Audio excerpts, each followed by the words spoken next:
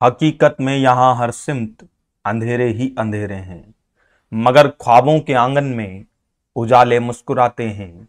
तमन्ना कामयाबी की अगर है तो चलो उठो, न हो गर हौसला तो फिर इरादे लड़खड़ाते हैं। नमस्कार दोस्तों, स्वागत है आपका कर्मण्य एकेडमी के इस यूट्यूब चैनल पर। अगर मेरी वॉइस आप तक प्रॉपर आ पा रही हो तो एक बार कमेंट करके बताएँ। सभी को जय हिंद, राम राम। 28 लोग यहाँ पर हमारे साथ जुड़े हुए हैं। एक बार आप वीडियो को शेयर कर दें और लाइक कर दें। अपने दोस्तों तक तो इसे शेयर करें ताकि वो भी हमारे साथ जुड़ सकें। जय हिंद सुमित, रानी सूर्यवंशी, दीपेश तमोलिया। चलिए, बयालीस लोगों की संख्या हो चुकी है। नीरज मेहर, रविंद्र सिसोदिया, सभी का स्वागत सभी का स्वागत है। जैसा कि आप सभी जानते हैं, चक्रवृद्धि ब्याज की हमारी यह क्लास है। जो कि कंप्लीट क्लास यहाँ पर होने वाली है। आज चक्रवृद्धि ब्याज की धज्जियाँ हम उड़ाने वाले हैं। टोटल टाइप्स यहाँ पर हम कवर करेंगे, सभी क्वेश्चंस को देखेंगे। टॉप 50 क्वेश्चंस जो एग्ज़ाम में आ सकते हैं, उनको हमने यहाँ पर लिया है। चौसठ लोगों की संख्या हो चुकी है। जल्दी से शेयर कीजिए, फिर हम क्लास को शुरू करते हैं। सभी को जय हिंद। जय श्री राम, जय भीम। चलिए, जय लंकेश।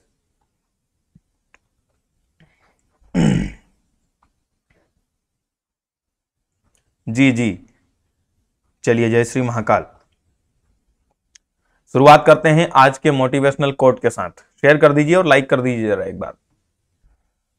केवल खड़े होकर पानी को ताकते रहने से आप नदी को पार नहीं कर सकते। यह कहना था आदरणीय श्री रविंद्रनाथ जी टैगोर का। तो बिल्कुल सही बात है। अगर आप खड़े रहेंगे, नदी को ताकते रहेंगे और अगर उस पार जाना है तो उसको ताकते रहने से आप उस पार नहीं जा सकते। आपको एफर्ट तो लगाना ही पड़ेगा मेरा दोस्त, प्रयास तो करना ही पड़ेगा। चलिए। जी, सुनील जाटव जी, स्वागत है आपका। बयासी लोगों की संख्या हो चुकी है, सभी का स्वागत है।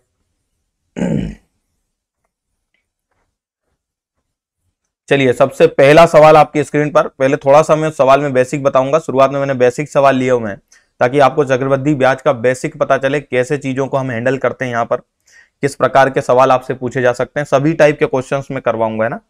चलिए। जी हाँ क्लास में लगा है ये poster thank you Nitesh thank you बानवे लोग हो चुके हैं। जल्दी से संख्या सौ पर पहुंचाइए, पहला सवाल आपकी स्क्रीन पर हाजिर होगा। जल्दी से। उदासियों की वजह तो बहुत है ज़िंदगी में। बेवजह खुश रहने का मज़ा ही कुछ और है। बड़ी शानदार बात लिखी यहाँ पर योगेश ने। वेरी गुड सर, आप 2016 के कब से करोगे? भाई, जितना जो पढ़ा रहा हूँ वो पढ़ लो अभी। सभी चीज़ें होगी, है ना? पहले कंप्लीट चैप्टर्स पढ़ लो, उसके बाद क्वेश्चन लगाएँगे चलिए, सबसे पहला सवाल यहाँ पर आपकी स्क्रीन पर। कि सात हज़ार पाँच सौ रुपए की राशि पर चार प्रतिशत की दर से दो वर्षों में चक्रवृद्धि ब्याज क्या होगा? तो पहले तो हम यह समझ लें कि चक्रवृद्धि ब्याज है क्या। इससे पिछले वीडियो लेक्चर में हमने साधारण ब्याज की यहाँ पर बात की थी दोस्तों। तो साधारण ब्याज और चक्रवृद्धि ब्याज दोनों में डिफरेंस क्या है वो पहले हम समझ लें, उसके बाद हम आगे बढ़ेंगे तो ज़्यादा सही रहेगा।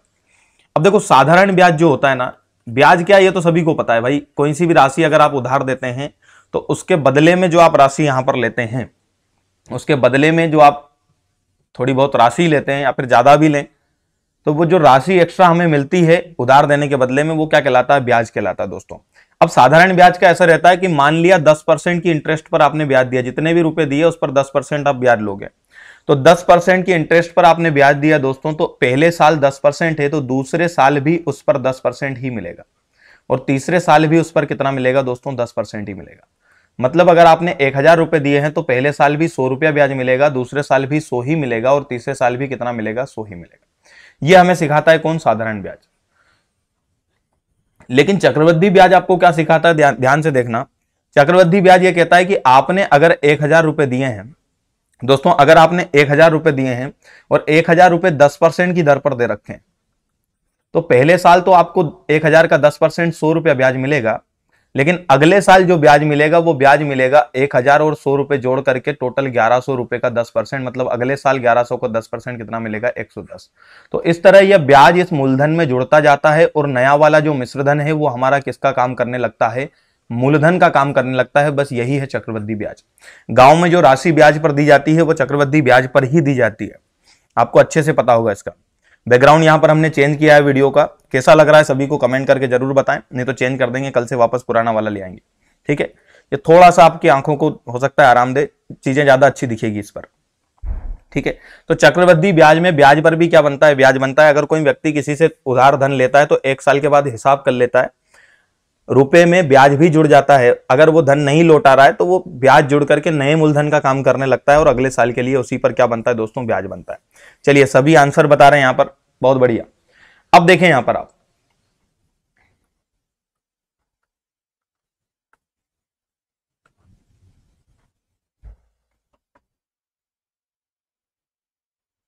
चलिए, ठीक है महन ठीक है। एक मिनट रुकना जरा। चलिए, बोर्ड खाली हो चुका है हमारा यहाँ पर। 112 लोगों की संख्या हो चुकी है, सभी का बहुत स्वागत है।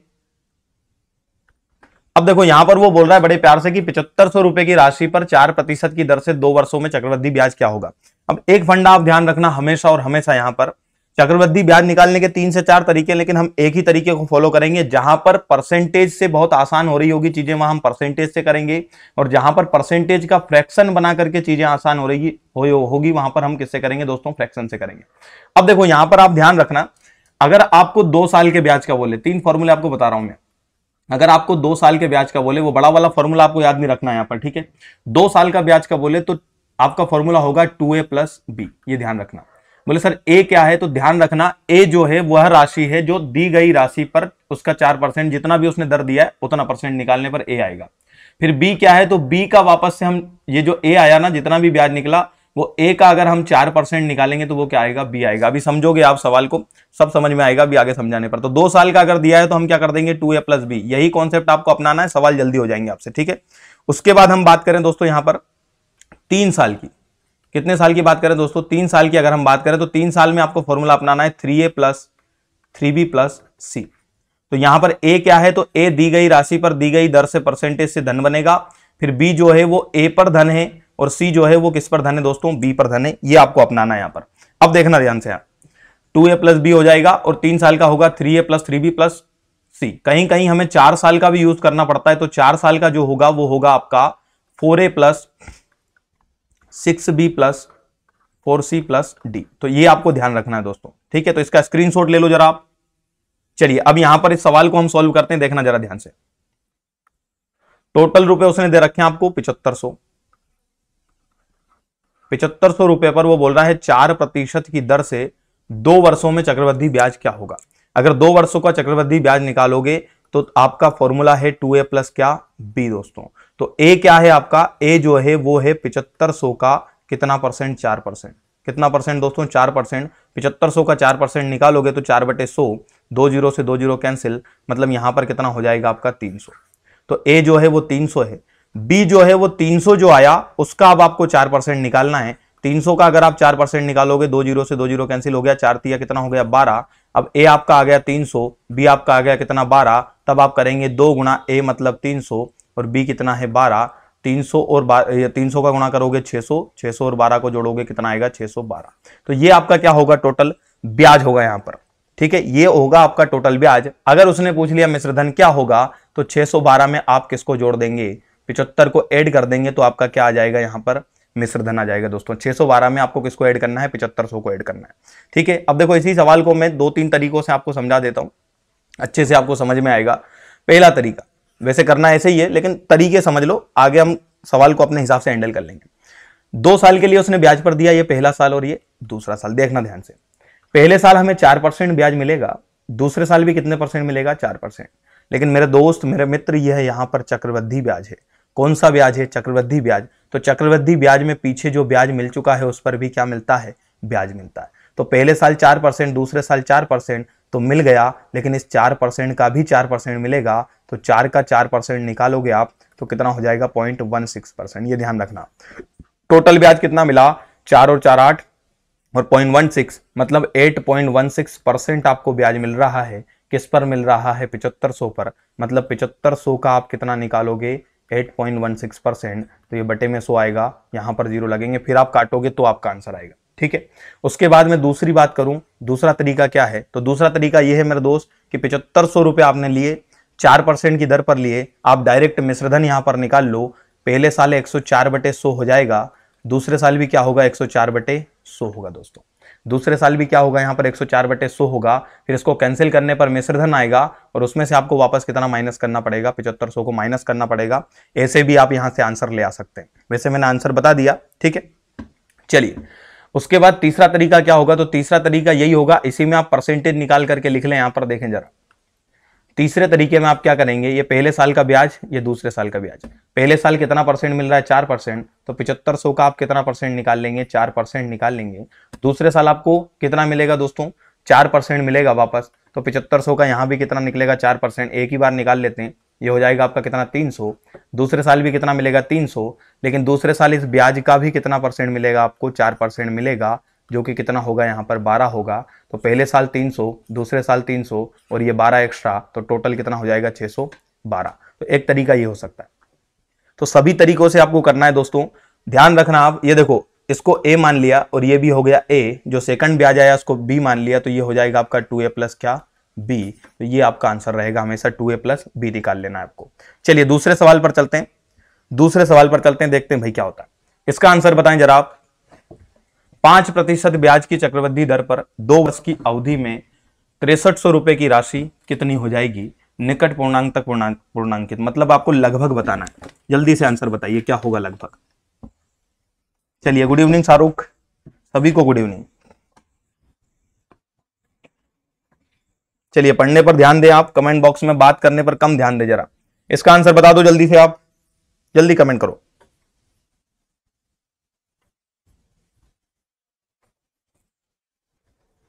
दो साल का ही ब्याज पूछा है। दो साल का ब्याज अगर बेचारा वो पूछ रहा है, बड़े प्यार से, आपसे बहुत मोहब्बत से पूछ रहा है तो आपका आंसर यहाँ पर क्या होगा? टू ए प्लस बी ही होगा। बोले, सर, ए क्या है? तो ए है मेरे मित्र, तिरसठ सौ का कितना परसेंट। पाँच परसेंट, तिरसठ सौ का आप पाँच परसेंट निकालोगे तो कितना निकलेगा? छः पंजे तीस, पंद्रह, तीन सौ पंद्रह निकलेगा।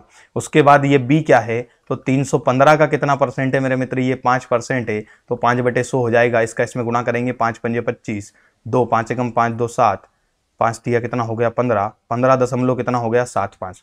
टू ए प्लस बी निकालना है तो दो गुणा ए अपना कितना हो गया? तीन सौ पंद्रह, प्लस बी हो गया पंद्रह दशमलव कितना? सात पाँच।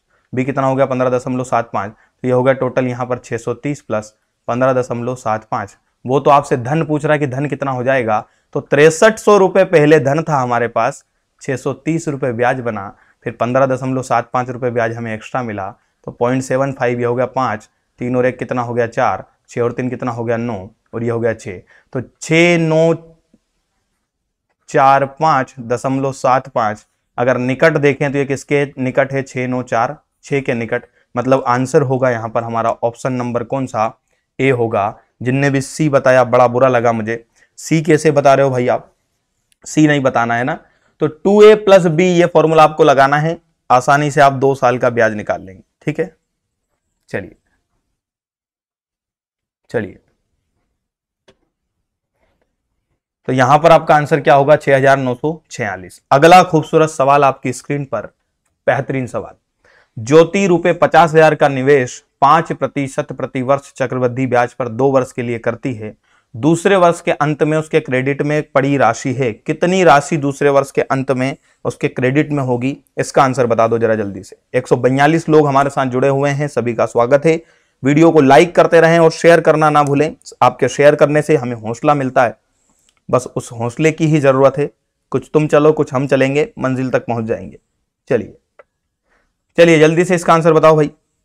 Good evening Saru good evening देख लिया भाई हमने। चलिए, कितनी राशि ली उसने? पचास हज़ार रुपए की राशि ली है। फिर से दो साल की बात कर रहा है तो कोई दिक्कत ही नहीं है। अगर वो दो साल की बात कर रहा है, पाँच प्रतिशत प्रतिवर्ष चक्रवृद्धि ब्याज की दर से तो हमारा फॉर्मूला होगा क्या? Two A plus B. ये फॉर्मूला नहीं है, ये तरीका है ना, ध्यान रखना, ठीक है? अब टू ए प्लस बी होगा मतलब पहले साल दो गुणा, भाई ए यहाँ पर कितना बनेगा? पर, कितना परसेंट है? पाँच परसेंट तो पचास हज़ार का पाँच परसेंट कितना होता है? पच्चीस सौ। कितना होगा पचास हज़ार का पाँच परसेंट पच्चीस सौ का मैं डायरेक्ट निकाल रहा हूँ। भाई किसी भी राशि का देखना ध्यान से। ये पचास हज़ार है अगर इसका दस परसेंट निकालना है तो एक अंक छोड़ करके यहाँ पॉइंट लगा दो कितना हो गया? पाँच हज़ार। पचास हज़ार का दस परसेंट पाँच हज़ार है तो पाँच परसेंट कितना होगा? इसका आधा होगा मतलब कितना होगा? पच्चीस सौ तो टू ए ए हो गया पचास हज़ार का पाँच परसेंट पच्चीस सौ। प्लस बी बी होगा इस पच्चीस सौ का पाँच परसेंट पच्चीस का पाँच परसेंट कितना होगा? एक सौ पच्चीस। और हमारे पास राशि पहले से कितनी है? पचास हज़ार है। तो पचास हज़ार प्लस यहाँ पर हम कितना जोड़ेंगे इसमें? पाँच हज़ार और एक सौ पच्चीस को जोड़ेंगे तो इतनी राशि हमारे पास होगी। चलिए, सभी का सही आ रहा है वेरी गुड इसे आप जोड़ेंगे तो कितना हो जाएगा ये? पचपन हज़ार एक सौ पच्चीस। ऑप्शन नंबर ए आपका क्या होगा यहाँ पर? राइट आंसर होगा दोस्तों। ऑप्शन नंबर ए क्या होगा? राइट आंसर होगा। ध्यान रखना इस तरीके से आप मत करना सवाल को। बहुत ज़्यादा रेयरली कंडीशन में इस तरीके से हम सवाल को सोल्व करते हैं ना, इसमें कैलकुलेशन आपकी बढ़ जाएगी। अगर आपका कैलकुलेशन अच्छा हो तो आप इसे आसानी से कर सकते हैं। वैसे तो आप चक्रवृद्धि ब्याज अगर कर रहे हैं तो इसमें कैलकुलेशन की बहुत ज़्यादा ज़रूरत पड़ती। है कैलकुलेशन तो करना ही पड़ेगा आपको, चाहे आप ये तरीके अपनाएँ या फिर ये, कहीं ना कहीं आपसे कैलकुलेशन माँगता है ये चैप्टर चलिए, सभी का ए आया, बहुत खुशी है मुझे, बहुत शानदार, बहुत बढ़िया। चलिए।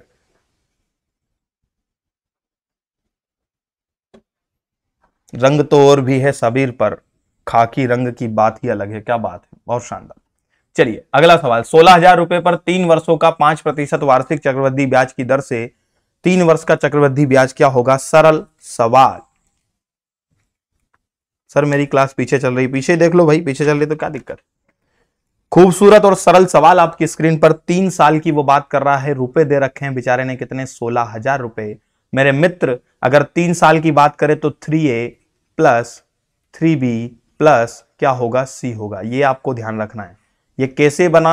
ये बना है बिल्कुल बेसिक से कि पहले साल मिलेगा कितने परसेंट? पाँच परसेंट, दूसरे साल पाँच परसेंट, फिर पाँच का पाँच निकालेंगे तो इस तरीके से ये बना है, ठीक है? सोलह हज़ार का कितना परसेंट दर से बोल रहा है? पाँच परसेंट से थ्री है तो थ्री इंटू ए होता है दी गई राशि का जितना परसेंट उसने दिया। सोलह हज़ार का पाँच परसेंट निकालोगे कितना निकलेगा? आठ सौ। प्लस तीन गुना बी होता है, जो ए आया उसका पाँच परसेंट, आठ सौ का पाँच परसेंट निकालोगे, निकलेगा चालीस। फिर सी होता है, जो बी आया है उसका पाँच परसेंट, चालीस का पाँच परसेंट निकालोगे, निकलेगा दो। तो ये हो गया आपका चौबीस सौ प्लस एक सौ बीस प्लस दो तो यहाँ पर टोटल कितना हो जाएगा ये? पच्चीस सौ बाईस। जो भी ए बता रहा है, ए बिल्कुल सही है, दिल खुश कर दिया तुमने सबने, बिल्कुल शानदार जवाब यहाँ पर। तो 2522 अपना क्या होगा दोस्त? आंसर होगा। 2522 अपना क्या होगा यहाँ पर? आंसर होगा। सवालों के नीचे लिख लेना, परीक्षा में नहीं आते हैं। इतने सरल सवाल नहीं आएँगे, है ना? रेड भी पाँच परसेंट, ये तो किस्मत की बात है कि दे दे। मैं समझाने के लिए सरल सवाल ले रहा हूँ। अभी आगे तरीके वाले क्वेश्चंस भी आएँगे। अगर आपके फंडे क्लियर हैं, तरीके अगर आपको आते हैं करने के सवालों को तो कैसी भी रेट उसने दे दी, आप आंसर ले आएँगे, सही करके आएँगे उसको। एक सौ सत्तावन लोगों की संख्या है, सभी का स्वागत है। दिल खुश कर दिया तुम सब लोगों ने। सभी का सही है। वेरी गुड वेरी गुड बहुत शानदार बहुत शानदार। अब जो भी पहले बताएगा, पहले पाँच लोगों के नाम लूँगा, मैं सही बताने वालों ठीक है? चलिए। अगला खूबसूरत सवाल आपकी स्क्रीन पर। बेहतरीन सवाल, मज़ेदार सवाल। सवाल नंबर पाँच। किस राशि पर पाँच प्रतिशत वार्षिक ब्याज की दर से दो वर्ष का चक्रवृद्धि ब्याज एक होगा? इस बार उसने ब्याज दे रखा मेरे मित्र। क्या दे रखा है? ब्याज दे रखा है। इस बार उसने क्या दे रखा है? ब्याज। और आपसे राशि पूछ रहा है। जल्दी से बता दो क्या राशि होगी। जल्दी बताओ भाई। एक सौ इकसठ लोगों की संख्या। शेयर करें जरा वीडियो को आप। और लाइक यहाँ पर बहुत कम है। एक सौ इकसठ लोग देख रहे हैं और लाइक इतने कम। ऐसा क्यों भाई? पसंद नहीं आ रहा आपको वीडियो?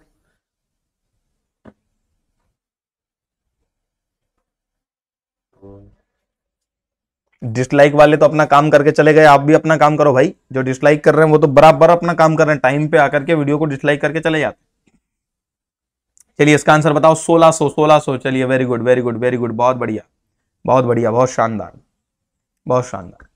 अब देखो, दो साल के लिए दिया है पाँच परसेंट पर तो ये पहला साल और ये दूसरा साल।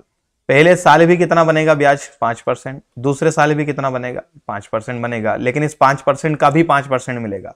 अगर किसी संख्या का उतना ही परसेंट आपको निकालना हो तो ध्यान रखना उसका स्क्वायर कर दो और दो अंक छोड़ के पॉइंट लगा दो, पॉइंट टू फाइव परसेंट हो जाएगा। किसी संख्या का उतना ही परसेंट अगर निकालना हो तो संख्या का स्क्वायर करके दो अंक छोड़ के क्या लगाना है आपको? पॉइंट लगाना है।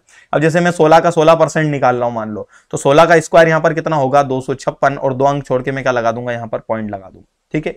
इस तरीके से इसको करना है। अब देखो, पॉइंट टू फाइव परसेंट हो गया तो पाँच और पाँच दस दस दशमलव दो पाँच परसेंट आपका क्या बना? ब्याज बना टोटल यही उसने दे रखा है कितना? एक सौ चौसठ। लेकिन आपको राशि बतानी है।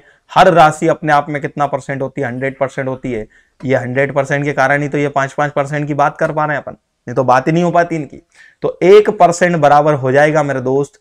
एक सौ चौसठ बटे दस दशमलव दो पाँच। लेकिन आपको तो हंड्रेड निकालना है तो सौ का गुणा इधर कर दो और सौ का गुणा इधर। यहाँ से जो बिंदिया हटाई तो दो बार ये बिंदिया यहाँ पर चमकेगी। इसे 25 से कैंसिल करेंगे 400 बार। इसे आप 25 से कैंसिल करेंगे तो 41 बार होगा। 41 से ये कैंसिल होगा कितनी बार? चार बार। 400 और चार का गुणा करोगे तो आंसर कितना आएगा? 1600 कितना आएगा यहाँ पर? आंसर 1600 आएगा। ठीक है तो जिनने भी 1600 बताया, सभी का सही है। वेरी गुड, बहुत शानदार। अब एक तरीका और समझ लो यहाँ पर, ये तो परसेंटेज वाली मेथड से हमने किया। फ्रैक्शन वाली मेथड से भी बता देता हूँ, क्योंकि बहुत जगह हम फ्रैक्शन मेथड का भी यूज़ करेंगे। कि फ्रैक्शन मेथड से कैसे आंसर निकालेंगे, अगर हम निकालना चाहें, समझना ध्यान से है ना? समझना। फ्रैक्शन मेथड से इसे कैसे सोल्व किया जाता? अब भाई उसने पाँच परसेंट क्या दिया? पाँच परसेंट की रेट दी है। पाँच परसेंट को फ्रैक्शन में चेंज करेंगे तो पाँच बटे सौ मतलब कितना हो जाएगा? एक बटे बीस हो जाएगा। कितना हो जाएगा दोस्तों? एक बटे बीस हो जाएगा। तो यहाँ पर आपकी मूल रकम जो है वो बीस है और एक के हिसाब से उस पर ब्याज मिल रहा है आपको, ठीक है? एक बढ़ेगा मतलब वो हर साल इक्कीस हो जाएगा, फिर अगले पे बढ़ेगा। अब देखो, यहाँ पर बीस जो अगर मूल रकम है और दो साल की अगर बात करें, अगर दो साल की बात करें तो नीचे वाली जो यहाँ पर राशि है, उसका आपको स्क्वायर करना है। तीन साल की अगर बात करता है तो घात तीन लगा देनी है मतलब क्यूब करना है। दो साल की अगर बात कर रहा है तो बीस की घात दो लगाऊँगा, चार सौ। ये एक और तरीका बता रहा हूँ, वैसे मैंने बता दिया सवाल, ठीक है? राशि कितनी हो गई? चार सौ अब उसने ब्याज दे रखा कितना? एक और राशि पूछ रहा है। अब हमने मान लिया कि राशि 400 यूनिट है। ये मैंने माना है, ठीक है? ये हमने माना है।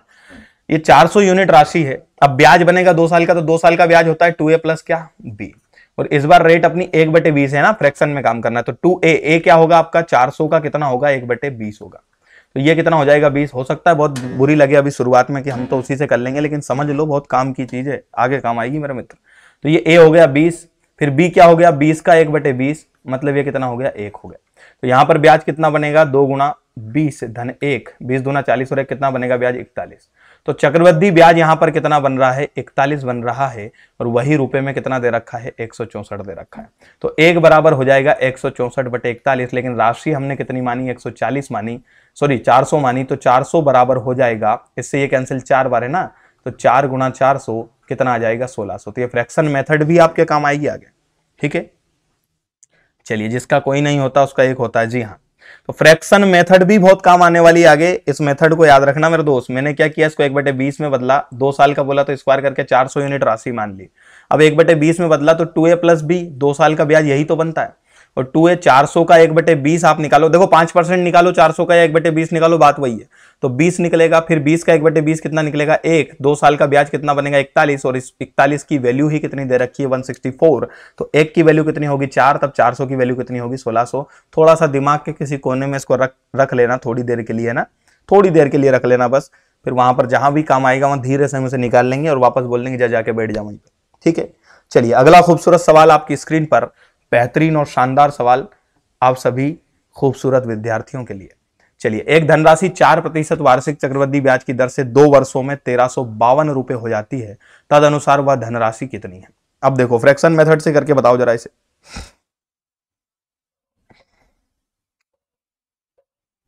ओ मेरे साथियों, एक धनराशि उसने दिया है चार परसेंट चार परसेंट दर से। अगर चार परसेंट की दर है तो इसका फ्रैक्शन होगा चार बटे सौ मतलब कितना होगा? एक बटे पच्चीस होगा। ठीक है? कितने साल का बोला? दो साल का। तो पच्चीस का स्क्वायर कर लो आप। आपने मान ली राशि कितनी है? 625 है। दो साल का बोलेगा तो ब्याज कितना बनेगा मेरा दोस्त? ब्याज बनेगा टू ए प्लस बी। ये ब्याज बनेगा। ए क्या होता है? बोले, सर, ए जो होता है, वो होता है दी गई जो आपने राशि मानी, उस राशि का कितना? एक बटे पच्चीस। तो ये कितना हो गया? पच्चीस। बी क्या होता है? बोले, सर, बी जो ब्याज आया ना, उसका एक बटे पच्चीस। तो इसका एक बटे पच्चीस करेंगे तो कितना हो गया? एक हो गया। तो यहाँ पर ब्याज बनेगा, ए हो गया पच्चीस और ये एक। तो दो गुणा पच्चीस, धन एक। कितना ब्याज बना? इक्यावन ब्याज बना। किस पर बना? 625 पर। तो टोटल धन कितना हो गया आपका? 625 प्लस इक्यावन। और इसी के बराबर में कितना दे रखा है? उसने तेरह बावन दे रखा है। अगर इनको जोड़ोगे तो ये छः ये सात और ये छः छः बराबर कितना हो गया? तेरह लेकिन वो बोल रहा है कि धनराशि कितनी है तो धनराशि हमने कितनी मानी? 625 मानी। तो एक बराबर हो जाएगा तेरह सौ बावन बटे कितना? छह सौ छिहत्तर। और 625 बराबर 625 का गुणा इधर 625 का गुणा इधर करेंगे। इससे कैंसिल होगा दो बार 625 दुना कितना होगा? 1250 होगा तो ये आपकी धनराशि होगी ऑप्शन नंबर ए जिनने भी ए बताया, बिल्कुल सही है उनका। बिल्कुल सही है। राधिका, मालवी, अभिषेक वर्मा, राहुल यादव। जी, आप ज्वाइन कर सकते हैं। एम डी मुशव्विर आलम उमर खान 1250 अभिषेक वर्मा 1250 नीतू वर्मा शुभम प्रजापति गंगाराम अहिरवार मनीष बामनिया सब धोखा दे सकते हैं, पर मेहनत नहीं। जी चंदू भाई, बिल्कुल मेहनत कभी धोखा नहीं देती। राहुल यादव। चलिए, जिनने भी ए बताया, सभी का सही है, दिल खुश कर दिया तुमने सबने। अनीता मंडलोई, वंदना वर्मा, अमित सिंह, संजीत अहिरवार। नितेश नितेश का गलत हो गया भाई। कमलेश बकोरिया नहीं आ रहा, सर। कोई बात नहीं, ये मैंने समझा दिया आपको। चलिए तो इस तरीके से भी आप कर सकते हैं, कितना हो गया यहाँ पर? 1250 हो गया। चलिए, अगला खूबसूरत सवाल आपकी स्क्रीन पर। सातवा, वार्षिक आधार पर लगने वाले चक्रवृद्धि ब्याज पर 10 प्रतिशत की वार्षिक दर से चक्रवृद्धि ब्याज दो वर्षों में कितनी राशि बारह हज़ार सौ हो जाएगी? कितनी राशि बारह हज़ार सौ रुपए हो जाएगी अगर वार्षिक आधार पर ब्याज लग रहा है? तो चलिए, जल्दी से इसका आंसर बताइए। सरल सवाल सरल सवाल।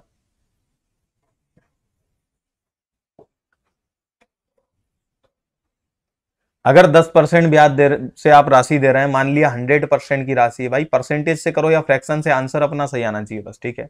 तो पहले साल और दूसरे साल की वो बात कर रहा है। अगर दो साल की वो बात कर रहा है तो हमारा धन जो होता है, वो टू ए प्लस किसके रूप में बढ़ता है? बी के रूप में। तो पहले साल दो गुना दस परसेंट दस हो गया।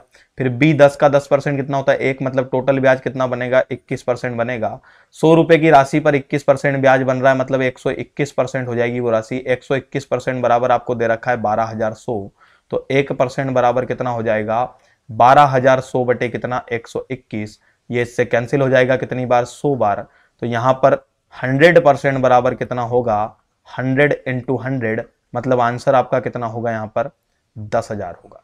आंसर कितना होगा दोस्तों? दस हज़ार ऑप्शन नंबर ए, जिनका भी ए आया सभी का सही है। तो सरल ही सवाल था, आसान सवाल है, ठीक है? भाई, दस परसेंट की दर से अगर बन रही तो हमें पता है दो साल में ब्याज बनता है टू ए प्लस बी, एक दिया उसने दस परसेंट, बी दस परसेंट का भी दस परसेंट, एक परसेंट होगा भाई। दस परसेंट का दस परसेंट कितना होता है? एक परसेंट। टोटल हो जाएगा कितना? इक्कीस परसेंट। तो यहाँ पर एक सौ इक्कीस परसेंट वो राशि हो जाएगी। एक सौ इक्कीस परसेंट बराबर बारह हज़ार सौ तो हंड्रेड परसेंट बराबर कितना होगा यहाँ पर? दस हज़ार होगा दोस्तों। हंड्रेड परसेंट दस हज़ार हो जाएगा। वेरी गुड जिनने भी ए बताया, सभी का सही है। बहुत शानदार। अगला खूबसूरत सवाल आपकी स्क्रीन पर। देखें जरा जल्दी से इसका आंसर बताएँ। वो बोल रहा है, पचास हज़ार का कर्ज साक्षी ने लिया। पहले वर्ष ब्याज की दर कितने हैं? पाँच परसेंट है। दूसरे वर्ष ब्याज की दर सात परसेंट है तथा तीसरे वर्ष ब्याज की दर आठ परसेंट है। तीनों वर्षों के अंत में ब्याज नहीं यहाँ पे धन पूछा है ना उसने? ये ब्याज हटा दो। धन क्या होगा? तीनों वर्षों के अंत में धन क्या होगा? यहाँ पर तीनों बार रेट अलग अलग दे रखी है इस बार उसने। जल्दी से बताइए इसका आंसर क्या होगा?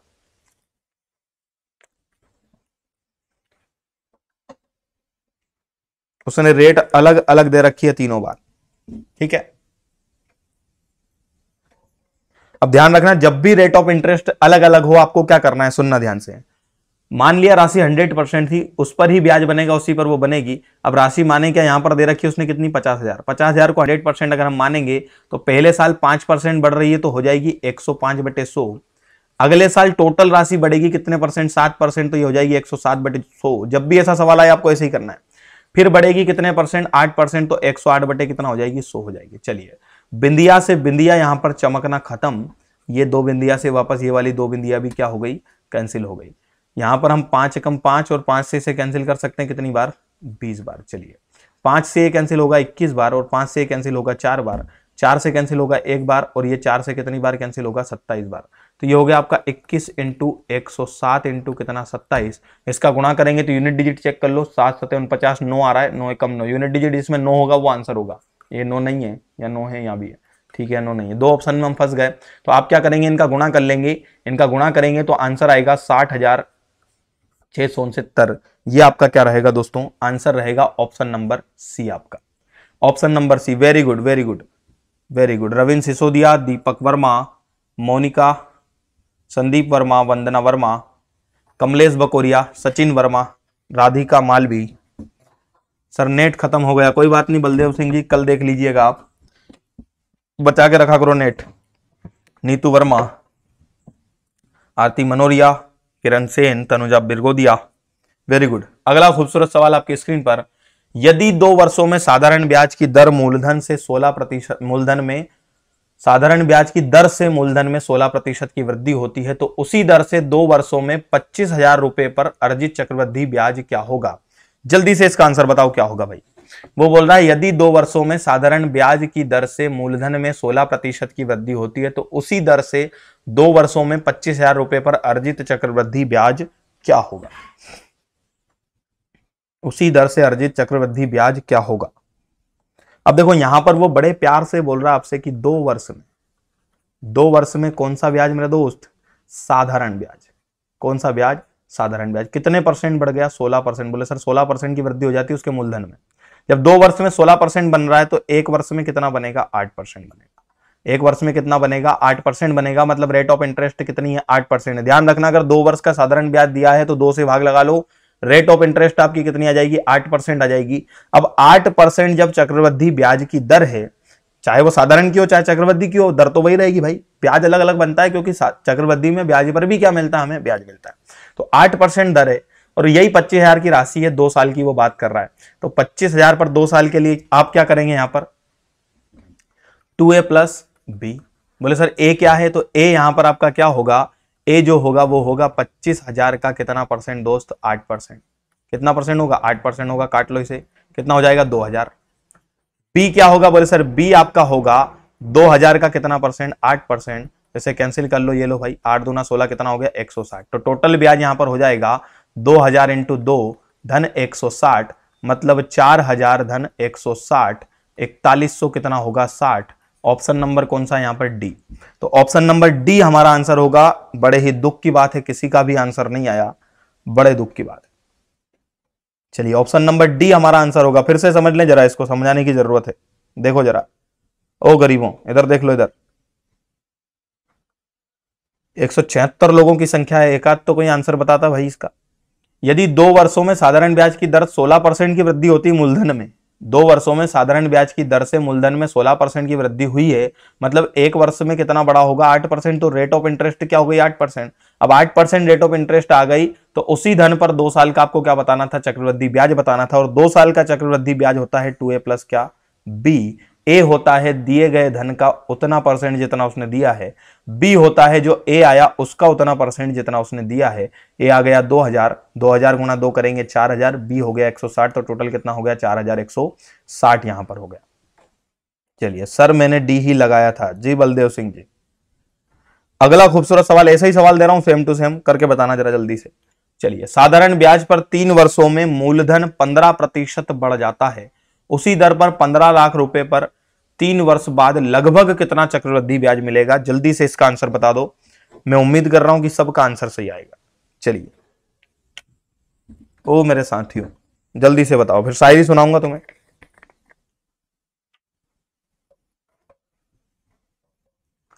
दस वाला समझ लो दोस्त, नौ भी समझ में आ जाएगा, है ना, मनीष? दस वाला समझ लो, सेम है दस वाला भी। ठीक है, यहाँ तीन साल की बात कर रहा है वो।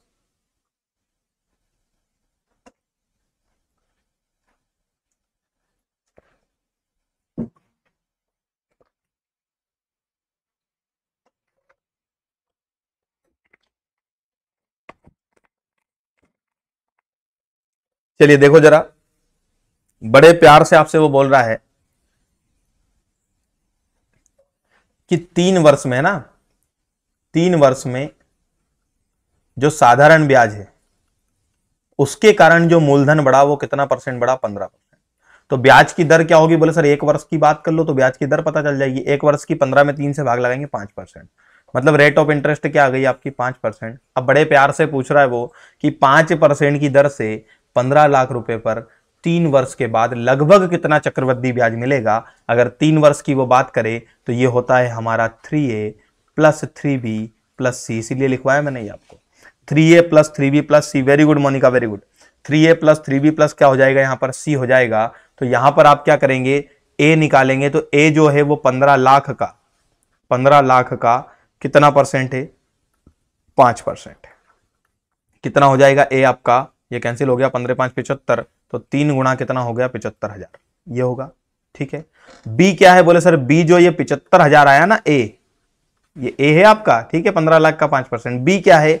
तो बी इस पिछहत्तर हज़ार का कितना परसेंट है? पाँच परसेंट है। आप इसे निकालेंगे, कितना होगा ये? सात पंजे पैंतीस, पाँच पंजे पच्चीस तो हो जाएगा टोटल तीन सौ पिछहत्तर तीन हज़ार सात सौ पचास।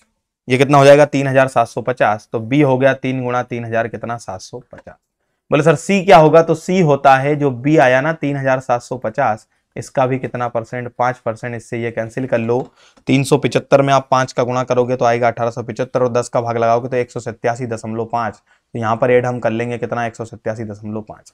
अब आप इनका गुणा करोगे तो ये कितना हो जाएगा दोस्तों? दो लाख पच्चीस हज़ार के समथिंग ये हो जाएगा। उसके बाद ये कितना होगा आपका? तीन तिया नौ, सात तिया इक्कीस, नौ दो ग्यारह, पाँच तिया पंद्रह। तो ये हो जाएगा ग्यारह हज़ार दो सौ पचास और ये एक सौ सत्यासी दशमलव कितना है पाँच। जब आप इन्हें जोड़ेंगे तो ये जाएगा आपका टोटल 2.36 लाख तक। जोड़ के देखना जरा इसे। कितने पर जाएगा 2.36 लाख तक? जो कि ऑप्शन नंबर सी आपका क्या होगा? आंसर होगा। जिनने भी सी बताया, I am proud of you, Vandana, Tanuja, Uma Gurjar, Shashi Dohare चलिए, नीतू वर्मा वेरी गुड जिनने भी सी बताया वेरी गुड भाई। सौरभ, मोनिका प्रजापति। चलिए, बाकी तो सभी, क्या पता क्या आंसर लगा रहे हैं। शेयर कर दो जरा वीडियो को। नींद आ रही सभी को तुम्हें। करो गरीबों। चलिए जिनने भी सी बताया वेरी गुड चलते हैं अगले खूबसूरत सवाल की ओर। बेहतरीन सवाल आपकी स्क्रीन पर। यदि तीन वर्षों में साधारण ब्याज पर मूलधन 18 प्रतिशत बढ़ जाता है तो उसी दर पर तीन साल में पच्चीस हज़ार रुपए पर अर्जित चक्रवृद्धि ब्याज क्या होगा? तो ग्यारहवें सवाल का स्क्रीनशॉट ले लो जरा, पिछले सवाल की तरह ही है। ये आपके लिए होमवर्क है यहाँ पर, ठीक है? ये पिछले सवाल के जैसा ये तो इसको आपको होमवर्क में करके बताना है, ठीक है? खुद ही करें इसको स्क्रीनशॉट ले लो, इसका स्क्रीनशॉट नहीं भी लोगे तो इसका पीडीएफ में डलवा दूँगा पीडीएफ में से आप कर लेना। पिछले सवाल के जैसा है सेम टू सेम अठारह परसेंट है, तीन साल की तो एक साल की छह परसेंट हो जाएगी। छह परसेंट के हिसाब से तीन साल का ब्याज यहाँ पर पच्चीस हज़ार का निकाल देना, आपका आंसर हो जाएगा। चलिए। और कितना शॉर्ट करोगे भाई इसको? कैलकुलेशन तो करना पड़ेगा। शॉर्ट ही बता रहा हूँ, लेकिन कैलकुलेशन है उसमें, ठीक है? गुणा भाग तो आना चाहिए। अगर वो नहीं आता और ये आशा कर रहे हो, ये उम्मीद कर रहे हो कि नौकरी लग जाए तो कोई बात ही नहीं फिर। ठीक है? चलिए। अगला खूबसूरत सवाल, आठ हज़ार रुपए का दस प्रतिशत वार्षिक ब्याज की दर से, अब आया सवाल देखो। दस प्रतिशत वार्षिक ब्याज की दर से एक सही एक बटे दो वर्ष का चक्रवृद्धि ब्याज क्या होगा? जबकि ब्याज प्रति छह माही दे हो। शुरुआत के दो तीन सवाल फिर से सरल। फिर हम छह माह की भी बात करेंगे, चार माह की भी बात करेंगे, नौ माह में भी हिसाब करवाएँगे और सात महीने में भी हिसाब यहाँ पर हम करवाने वाले हैं, ठीक है? अब देखो, आपको ये समझ लेना है यहाँ पर। आपको ये रटना नहीं है, वो बोल रहा है ब्याज की दर कितनी हो? छह माही हो। मतलब ब्याज छह माही दे हो सॉरी छह माही दे ब्याज है। अगर छह माह की वो बात कर रहा है, देखना ध्यान से, कितने माह की बात कर रहा है? छह माह की। तो छह माह की अगर हम बात करें, एक साल में बारह माह होते हैं। कितने माह होते हैं? एक साल में बारह माह। और छह छह माह के कितने टुकड़े हो सकते हैं? बोले, सर, दो टुकड़े हो सकते हैं। जब एक साल के दो टुकड़े आप कर रहे हैं, ये प्रैक्टिकली समझ लो इस बात को, ऐसा रटना मत कि छह महीने का बोले तो दर में दो से भाग लगाएँगे, समय को दुगना करेंगे। ये नहीं रटना है, क्योंकि वो पाँच महीने का भी बोलता है। ठीक है, कितने महीने का बोलता है? पाँच महीने का। तो ध्यान रखना, वो वार्षिक ब्याज की दर देके रखता है यहाँ पर। कैसी देके रखता है? हमेशा वार्षिक ब्याज की दर देगा। छह महीने का बोल रहा है तो एक साल में बारह माह होते हैं। और 12 माह के छह छह माह के दो टुकड़े कर सकते हैं। मतलब कितने साल बनेंगे? दो साल यहाँ पर बनेंगे। अगर आप साल के दो टुकड़े कर रहे हैं तो दर के भी दो टुकड़े करना है। दस की दर थी तो पहले छह महीने के लिए पाँच मिलेगी और दूसरे छह महीने को भी कितनी मिल जाएगी? पाँच मिल जाएगी। ये बात आपको समझनी है। दूसरी बात एक और समझिए आप। अगर उसने बोल दिया चार माह का, कितने माह का बोल दिया दोस्तों? चार माह का बोल दिया और मान लिया यहाँ पर पंद्रह परसेंट रेट ऑफ़ इंटरेस्ट है। दस भी हो सकती, पंद्रह भी हो सकती। पंद्रह परसेंट अगर है तो बारह माह जो है उसके चार चार माह के कितने टुकड़े होंगे दोस्तों? तीन टुकड़े होंगे। अगर बारह माह के आप तीन टुकड़े कर रहे हैं तो पंद्रह परसेंट के भी तीन टुकड़े करो। यहाँ होंगे पाँच पाँच परसेंट के। कितने परसेंट के होंगे दोस्तों? पाँच पाँच परसेंट के।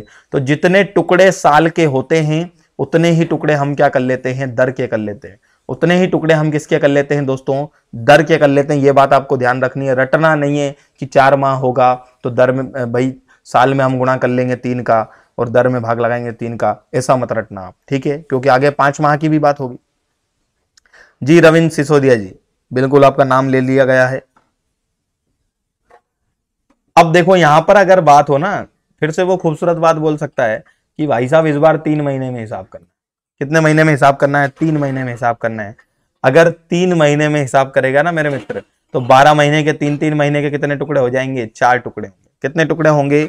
चार। और तीन तीन महीने के अगर चार टुकड़े हो रहे हैं मेरे दोस्त तो आपको अगर दर दे रखी मान लो बीस परसेंट तो इसके भी चार टुकड़े करेंगे पाँच पाँच के चार टुकड़े हो जाएँगे। अगर दस परसेंट दर दी होती तो हम इसके भी चार टुकड़े करते दस बटे चार, दस बटे चार, दस बटे चार, और चारों जगह कितने मिलते दस बटे चार होते आपको।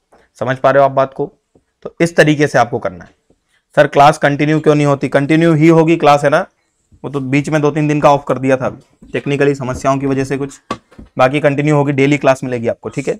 मैथ्स की क्लास सोम, बुध, है ना? मंगल छोड़ दो, बुध, गुरु छोड़ दो, उसके बाद आएगा बुध के बाद गुरु छोड़ दो, शुक्र, ऐसे आपको मिलेगा ना? शनि छोड़ दो, रवि, ठीक है? वीरेन हूँ, सर, जी जी, वीरेन जी, ठीक। चलिए तो यहाँ पर इस तरीके से आपको करना है। अब देखो, अगर उसने क्या किया, मान लो ऐसा बोल दिया कि ढाई साल है। कितने साल है? ढाई साल। और दस महीने के हिसाब दस महीने पर वो हिसाब कर रहा है। तो ढाई साल में कितने महीने होते हैं? बोले, सर, ढाई साल में महीने होंगे दो साल में चौबीस और आधे साल में छह तो चौबीस और छह कितने हो गए? तीस। तो यहाँ पर इस तीस महीने के कितने टुकड़े हो रहे हैं? तीन टुकड़े हो रहे हैं। समझ रहे हो बात को? तीस महीने के कितने टुकड़े हो रहे हैं यहाँ पर? तीन टुकड़े हो रहे हैं, दस दस और दस। तो आपको दस महीने के हिसाब से फिर रेट ऑफ़ इंटरेस्ट निकालनी होगी, ध्यान रखना।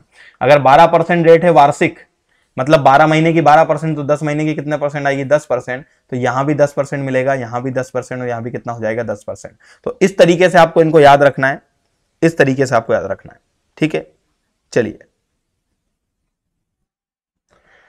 अब देखो, यहाँ पर क्या बोल रहा है, यहाँ तो सिंपल सवाल है, ज़्यादा है ना, परेशान करने वाला सवाल नहीं है। आठ हज़ार रुपए पर दस परसेंट वार्षिक ब्याज की दर से एक सही एक बटे दो वर्ष का। एक सही एक बटे दो वर्ष मतलब कितने महीने हो गए? अठारह माह हो गए। कितने माह हो गए? अठारह माह। है ना? आधे आधे साल के तीन साल बन जाएँगे। तो चक्रवृद्धि ब्याज क्या होगा जबकि ब्याज छह माही दे हो? मतलब छह छह महीने में हिसाब कर रहा है। अठारह माह के टुकड़े छह महीने के कितने होंगे? छह छह और छह, तीन टुकड़े होंगे। अगर वार्षिक है और हर छह महीने पे हिसाब कर रहा है तो आपकी दर कितनी हो जाएगी? बोले, सर, दर हो जाएगी पाँच परसेंट। क्योंकि जब बारह महीने की दस परसेंट है तो छह महीने की कितनी होगी? पाँच परसेंट। मतलब यहाँ पर पहले साल भी पाँच परसेंट ब्याज मिलेगा, फिर पाँच परसेंट और फिर पाँच परसेंट। यहाँ पर छह छह महीने के साल हो गए ध्यान रखना। तो अगर तीन साल की वो बात कर रहा है पाँच परसेंट के हिसाब से तो आप क्या करेंगे? Three A plus, three B plus कितना? सी। ए क्या होता है? दी गई राशि का पाँच परसेंट, आठ हज़ार का पाँच परसेंट निकालोगे तो कितना निकलेगा? चार सौ। बी क्या होता है? ए का पाँच परसेंट तो बी आप निकालोगे, इसका पाँच परसेंट तो कितना होगा? बीस। और सी होता है? बी का पाँच परसेंट, बीस का पाँच परसेंट निकालोगे, एक। तो चार तिया बारह सो, प्लस हो गया साठ, धन एक। आंसर आएगा कितना? बारह सो इकसठ। तो ये आपका क्या रहेगा? आंसर होगा। तो थोड़ा सा कॉमन सेंस लगाना। भाई, आपने क्या किया? दर को आधा कर लिया। क्यों? क्योंकि छह छह महीने के दो ही साल बनते हैं एक साल में से। जब एक साल बारह महीने की दर दस परसेंट है तो छह महीने की कितनी होगी? पाँच परसेंट होगी। टोटल यहाँ पर वो तीन साल की बात कर रहा है। छह छह महीने के तीन साल हो गए अब इस बार? तीन साल की वो बात कर रहा है। अठारह महीने की बात कर रहा है तो पाँच पाँच परसेंट से बनेगा। फॉर्मूला तीन साल वाला लगाना है और पाँच परसेंट के हिसाब से आप ब्याज निकाल देंगे। बारह कितना आ जाएगा? इकसठ आ जाएगा। चलिए, अगला खूबसूरत सवाल आपकी स्क्रीन पर। चौबीस हज़ार रुपए पर बीस प्रतिशत वार्षिक ब्याज की दर से नौ माह महीने का चक्रवृद्धि ब्याज क्या होगा? अब देखो, वो नौ महीने की बात कर रहा है और बारह माह का जो उसने यहाँ पर रेट दे रखा, वो दे रखा है बीस परसेंट, ठीक है? यदि ब्याज त्रिमासिक हो, अब तीन महीने, नौ महीने के तीन महीने के हिसाब से कितने टुकड़े होंगे? तीन तीन और तीन तीन टुकड़े हो रहे हैं मतलब तीन साल की ही हमें बात करनी पड़ेगी। अब तीन महीने की रेट क्या होगी वो निकालने अगर बारह महीने की बीस परसेंट है तो एक महीने की बीस बटे बारह तो तीन महीने की कितनी होगी? यहाँ पर बीस बटे बारह गुणा तीन। इससे कैंसिल किया चार बार, चार से कैंसिल कितनी बार, पाँच बार। भाई, एक साल के तीन तीन महीने के चार टुकड़े होते हैं तो रेट के भी चार टुकड़े करेंगे। बीस में पाँच से भाग, चार से भाग लगाया, पाँच परसेंट आ गया। तो पाँच परसेंट फिर से दर है, फिर से तीन साल बन रहे हैं। कितने साल बन रहे हैं? यहाँ पर तीन साल बन रहे हैं। तीन साल की पाँच परसेंट के हिसाब से अगर आप दर यहाँ पर ब्याज निकालोगे तो वही होगा three A plus three B plus C three A A का मतलब क्या होगा? देखो, यहाँ लिख देता हूँ। Three A plus three B plus कितना सी थ्री ए ए मतलब पाँच परसेंट किसका? चौबीस हज़ार का। कितना निकलेगा? बारह सो। बी मतलब बारह सौ का पाँच परसेंट कितना निकलेगा? यहाँ पर एक सौ बीस का आधा साठ। सी मतलब साठ का पाँच परसेंट, छह का आधा कितना हो जाएगा? तीन। तो ये हो जाएगा छत्तीस सौ प्लस कितना? एक सौ अस्सी प्लस कितना? तीन। जोड़ोगे इसे तो सैंतीस सौ कितना होगा? तिरासी होगा, जो कि ऑप्शन नंबर कौन सा है? आपका बी है यहाँ पर। ऑप्शन नंबर कौन सा है दोस्तों? बी है यहाँ पर। चलिए। अगला खूबसूरत सवाल आपकी स्क्रीन पर तिमाही आधार पर एक वर्ष में प्रति वर्ष 40 प्रतिशत की दर से अस्सी हज़ार रुपयों का अर्जित चक्रवृद्धि ब्याज क्या होगा? अब वो 40 परसेंट की रेट दे रहा है एक साल की। टोटल 12 माह की उसने जो रेट दे रखी है वो कितनी दे रखी है? 40 परसेंट। और वो हिसाब करने का बोल रहा है हर तीन माह पर तो तीन माह की रेट कितनी होगी? बोले, सर, यहाँ पर तीन माह की रेट हो जाएगी। चालीस बटे बारह इंटू कितना तीन, इससे कैंसिल करेंगे चार बार, चार से कैंसिल करेंगे दस बार। मतलब दस परसेंट।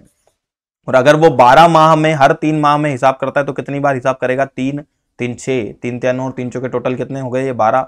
और दस परसेंट की यहाँ पर रेट है। मतलब आपको कितने साल का ब्याज निकालना है, मेरे दोस्त? ये ब्याज आपको निकालना है चार साल का दस परसेंट से। क्योंकि चार टुकड़े हो रहे हैं यहाँ पर तो चार बार आपको ब्याज निकालना पड़ेगा। अगर चार साल का ब्याज निकालोगे ना दोस्तों, अगर चार साल का ब्याज निकालोगे तो मैंने आपको बताया four A plus six B plus four C plus D, ये आपको याद रखना, जल्दी आ जाएगा, ठीक है? ए क्या है? बोले, सर ए जो है, वो दस परसेंट है किसका? दी गई राशि का। आप अस्सी हज़ार का दस परसेंट निकालेंगे, आठ हज़ार निकलेगा। प्लस बी क्या है? तो छह गुना बी बी है आठ हज़ार का दस परसेंट, कितना आएगा? आठ सौ। सी क्या है? तो 800 का 10 परसेंट है, चार गुना कितना हो गया? 80 डी क्या है? तो इस 80 का 10 परसेंट है, कितना हो गया? आठ। तो ये हो गया आपका बत्तीस हज़ार। प्लस छह हज़ार आठ सौ मतलब छह गुना आठ सौ मतलब छह अठे अड़तालीस सौ। प्लस हो जाएगा आठ चौके बत्तीस मतलब तीन सौ बीस। धन कितना? आठ। इनको जोड़ोगे तो ये हो जाएगा आठ सौ और तीन सौ। यहाँ पर कितना? ग्यारह सौ बीस, ग्यारह सौ अट्ठाईस, सैंतीस हज़ार एक सौ अट्ठाईस समथिंग होगा। बत्तीस, चार, छत्तीस हाँ सैंतीस, एक सौ अट्ठाईस। तो ऑप्शन नंबर बी आपका क्या होगा? यहाँ पर आंसर होगा। ऑप्शन नंबर बी आपका क्या होगा? आंसर होगा। कैलकुलेशन आपकी अच्छी होनी चाहिए। समझ रहे हो बात को आप? कैलकुलेशन आपकी अच्छी होनी चाहिए। ऑप्शन नंबर बी आपका क्या होगा? यहाँ पर आंसर होगा। अगला खूबसूरत सवाल आपकी स्क्रीन पर। बीस हज़ार चार सौ अस्सी का छह सही एक बटे चार प्रतिशत की दर से दो वर्ष तिहत्तर दिन का चक्रवृद्धि ब्याज क्या होगा? इसका आंसर बता दो, जल्दी से क्या होगा भाई? दो वर्ष तिहत्तर दिन का चक्रवृद्धि ब्याज क्या होगा?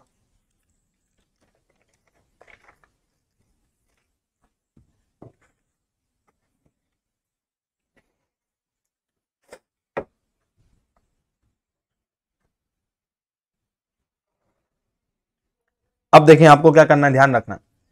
बीस हज़ार चार सौ अस्सी रुपए उसने दे रखे हैं। दर दे रखी है, छह सही, एक बटे चार परसेंट। और वो पूछ रहा है कितने साल का? दो वर्ष और तिहत्तर दिन का। अब जब भी सही बटे में आपको रेट दिखे ना, ऐसे तो इसमें आप ध्यान रखना हमेशा और हमेशा इसको चेंज कर लेना फ्रैक्शन में। छह चौका चौबीस और एक पच्चीस बटे चार परसेंट। अगर मैं इसे फ्रैक्शन में चेंज करूँगा तो पच्चीस बटे चार और यहाँ पर आ जाएगा क्या? सौ। पच्चीस चौके सौ तो एक बटे सोलह। मतलब अब दर की जगह हम कितना लिखेंगे? एक बटे सोलह लिखेंगे, एक बटे सोलह निकालेंगे राशि का।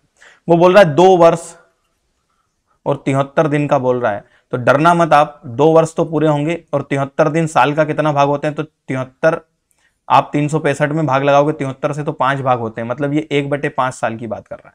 किसकी बात कर रहा है दोस्तों? एक बटे पाँच साल की यहाँ पर बात कर रहा है। एक मिनट रुकना।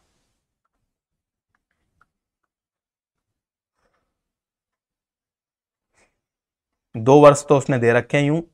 और यूँ आपसे बात कर रहा है, तिहत्तर दिन तो तिहत्तर दिन कितने साल होते हैं? बोले, सर, तिहत्तर दिन होते हैं, एक बटे पाँच वर्ष। कितने वर्ष की बात कर रहा है, एक बटे पाँच? क्योंकि तिहत्तर से कितनी बार कैंसिल होगा? पाँच बार।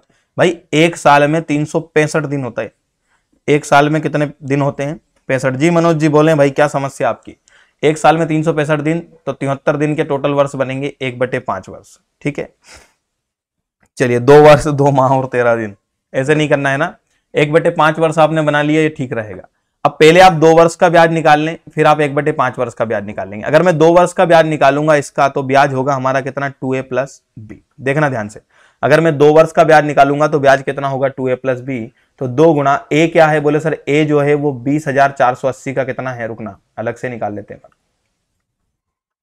ए जो है, वो बीस हज़ार चार सौ अस्सी का कितना परसेंट है?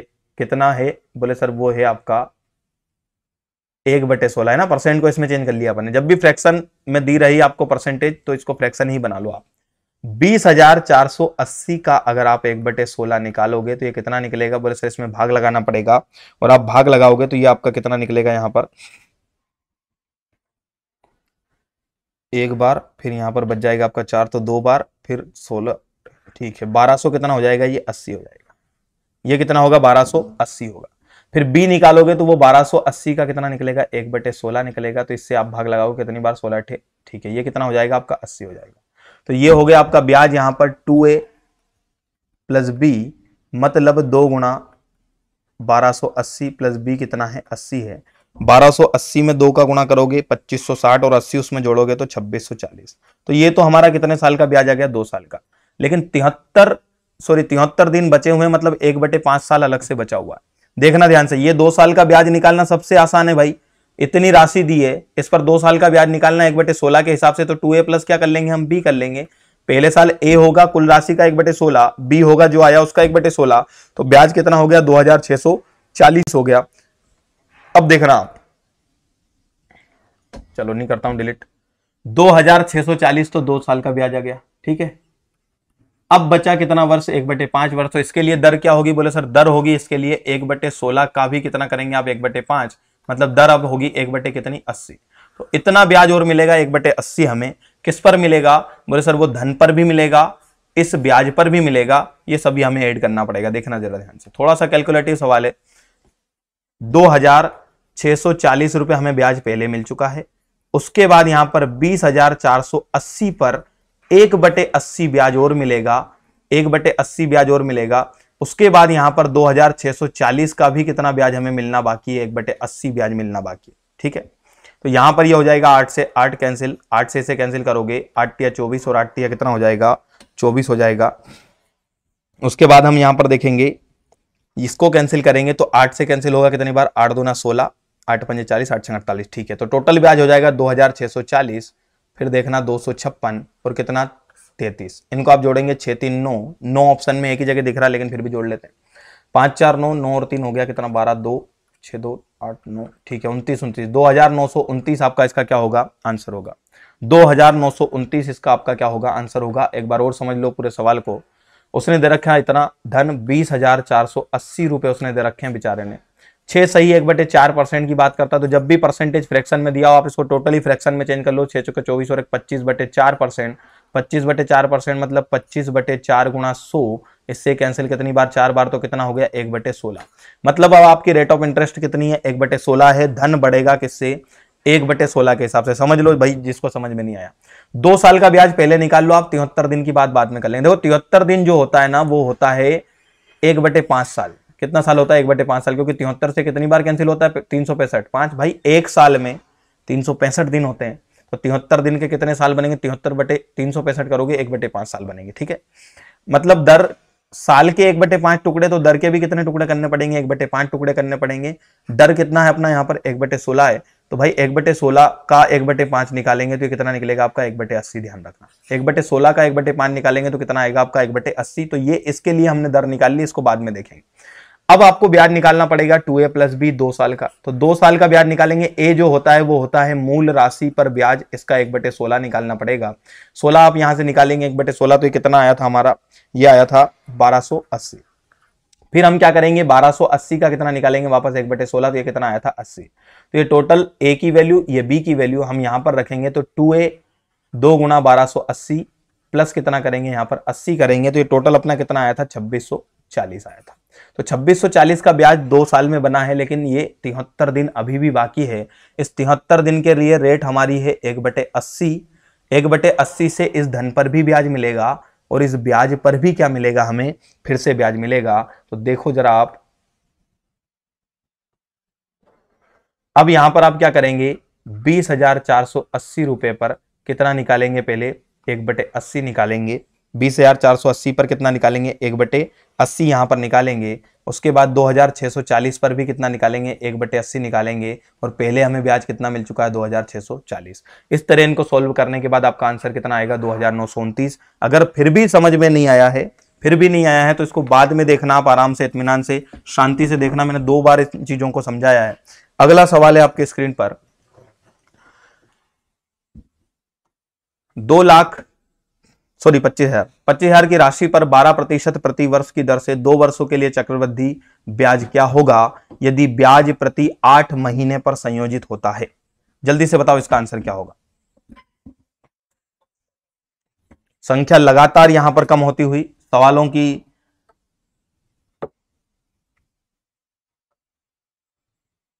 सर, जब दर फ्रैक्शन में दी होती है तो जी, फ्रैक्शन को आप फ्रैक्शन में ही बदल लेंगे तो ज़्यादा सही रहेगा, है ना? चलिए।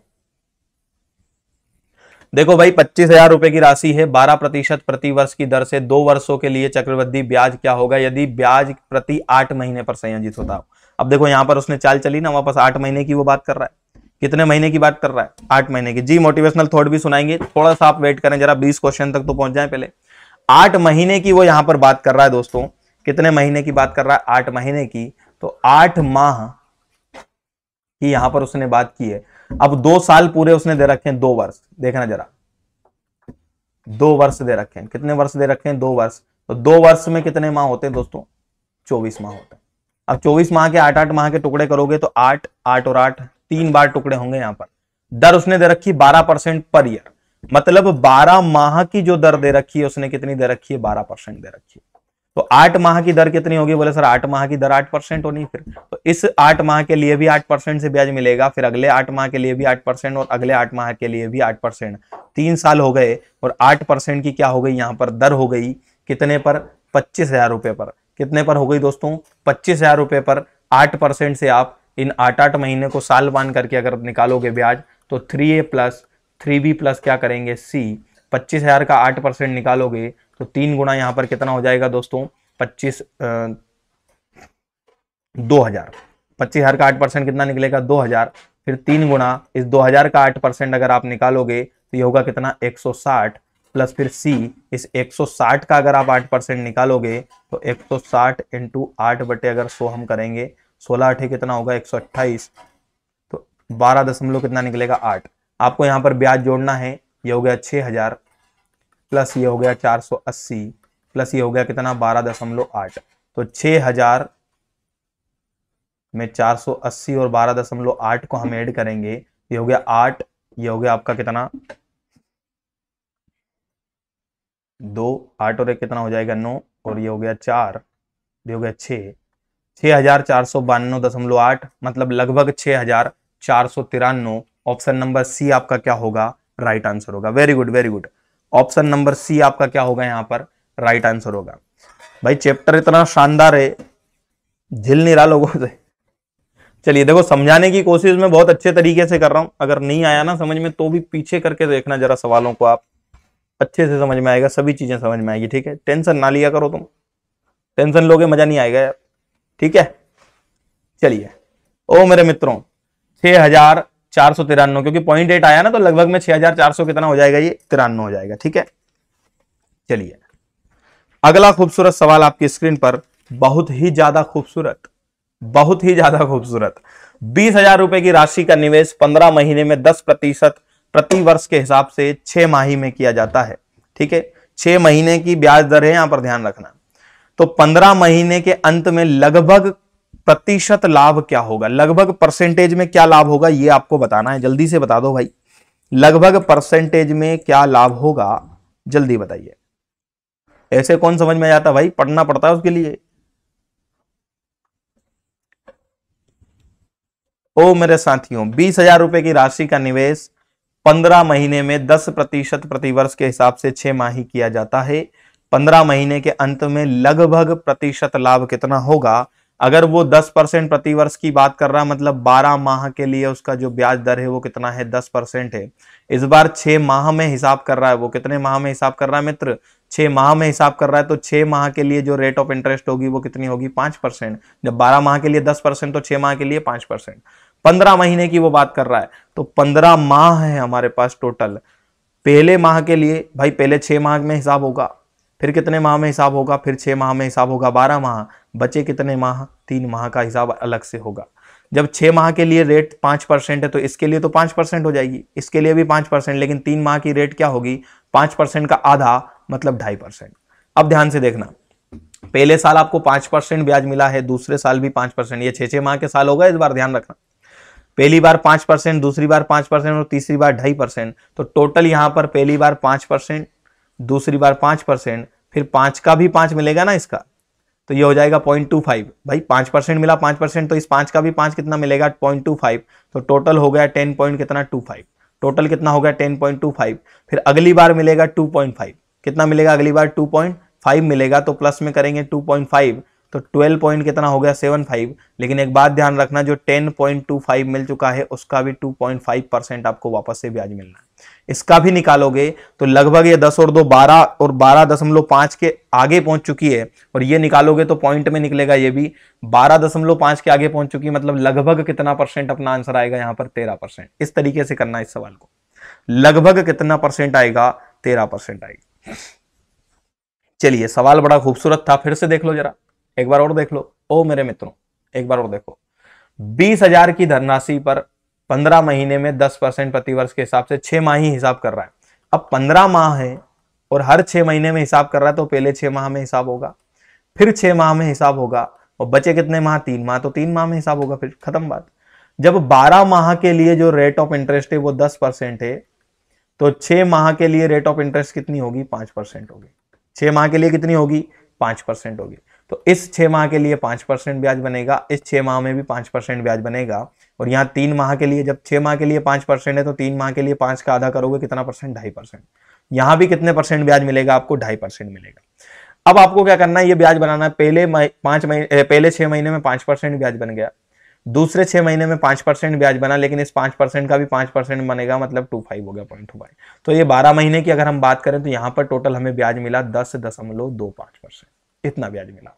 अगले तीन माह में हमें पता है कि दो दशमलव पाँच परसेंट ब्याज मिलना है, लेकिन ये दो दशमलव पाँच परसेंट ब्याज जो है ना, वो इस वाले ब्याज पर भी ब्याज बनेगा एक बार। तो प्लस करना पड़ेगा दस दशमलव दो पाँच परसेंट का भी दो पाँच परसेंट। दो दशमलव पाँच परसेंट। समझ रहे हो बात को? तो ये भी आपको परसेंटेज निकालना होगा। तो टोटल लगभग कितने के में जाएगा? तेरह में जाएगा। तो ऑप्शन नंबर सी आपका क्या होगा? सही होगा। जी कमेंट बॉक्स बिल्कुल शांत है आज। बिल्कुल शांति ही रहने वाला है। ठीक है, चलिए अगला सवाल आपके स्क्रीन पर। पचास हज़ार रुपए की राशि को 19 महीनों के लिए 24 प्रतिशत वार्षिक चक्रवृद्धि ब्याज की दर से निवेश किया जाता है, जो प्रति सात माह में संयोजित होता है। 19 महीने के अंत में प्रतिशत लाभ दशमलव के तीन स्थान तक बताइए। जल्दी से बताओ जरा। 19 महीने के बाद प्रतिशत लाभ क्या होगा मेरे मित्र?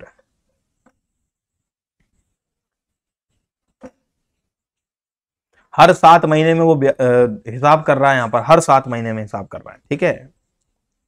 हर सात महीने में हिसाब कर रहा है।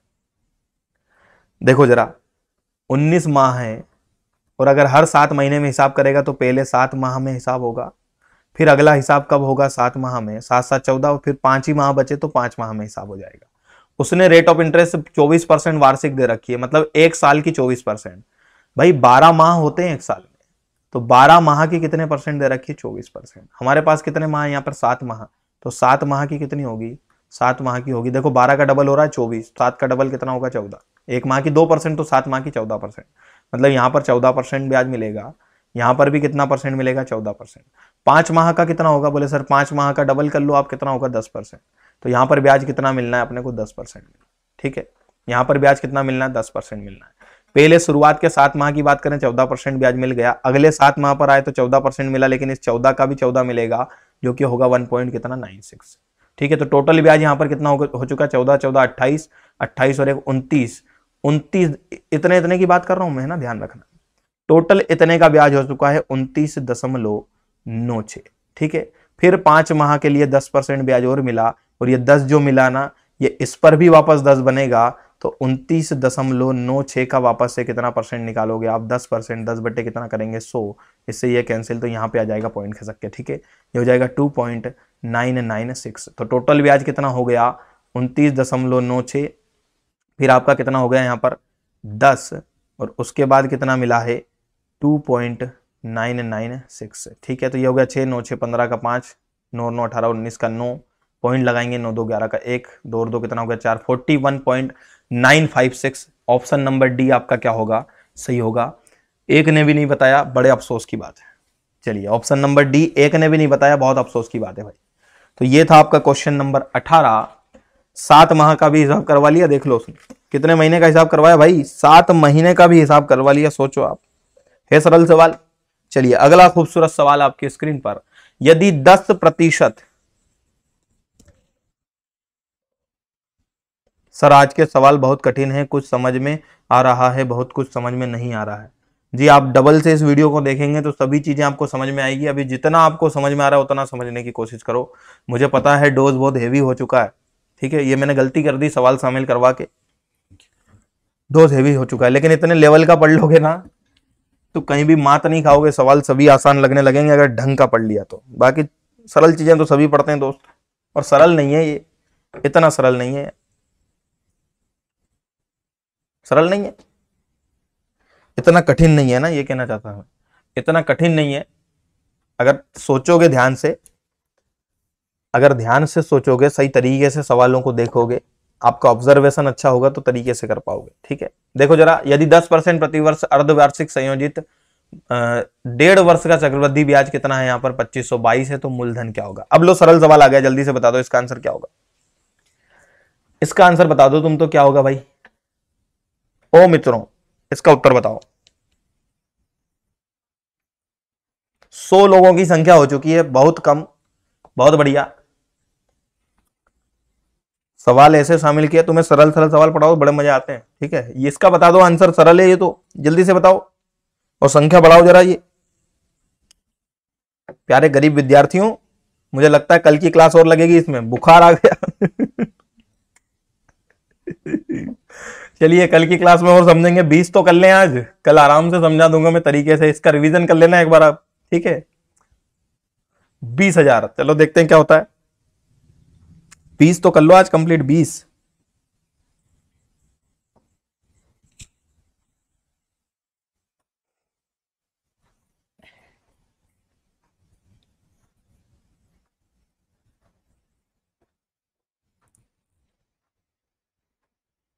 अब देखो, ऐसे में आपको क्या करना है? दस परसेंट वार्षिक दी उसने और वो अर्धवार्षिक रूप से संयोजित कर रहा है। बारह माह की अगर उसने दर दे रखी, यहाँ पर कितने परसेंट? दस परसेंट। तो छह माह की यहाँ पर कितनी हो जाएगी?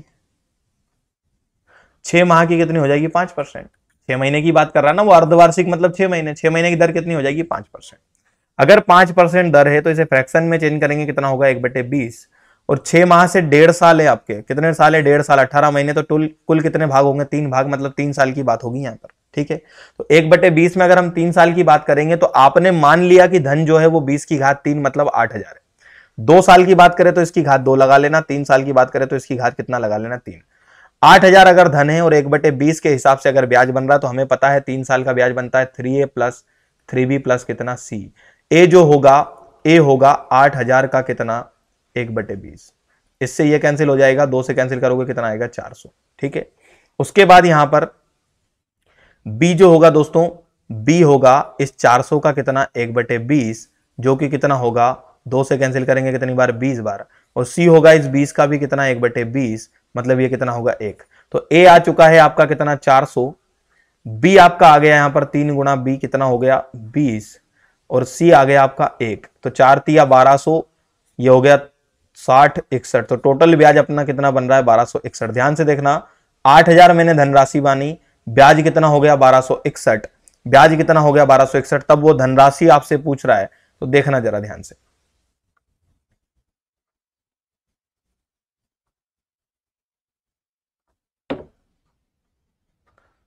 मैंने यहाँ पर जो धनराशि है, वो एक बटे बीस इसका फ्रैक्शन आया था, उसका घात तीन लगाया। घात तीन क्यों लगाया? क्योंकि तीन टुकड़े हो रहे हैं यहाँ पर तो आठ हज़ार मान ली।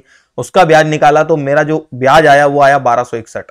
तो बारह सौ इकसठ यूनिट की जो वैल्यू है, वो वैल्यू है बराबर में किसके? 2522 के। क्योंकि उसने ब्याज इतना दे रखा है, अपना ब्याज तो इतना निकल रहा है। तो एक यूनिट की वैल्यू 2522 बटे कितना हो जाएगा? बारह कितनी बार कैंसिल होगा ये? दो बार कैंसिल होगा तो एक यूनिट बराबर दो, आपने धन कितना माना था? आठ हज़ार। तो आठ हज़ार यूनिट बराबर कितना हो जाएगा? सोलह हज़ार। मतलब ऑप्शन नंबर आपका कौन सा है? सी यहाँ पर सही रहेगा। सी यहाँ पर सही रहेगा। चलिए। ऑप्शन नंबर सी जिनने भी सी बताया वेरी गुड बहुत शानदार। बिल्कुल सही है। जिनने भी सी बताया, बिल्कुल सही है उनका आंसर चलिए। चलिए, सही है, बिल्कुल। सर जी, कौन सा गुस्सा निकाल रहा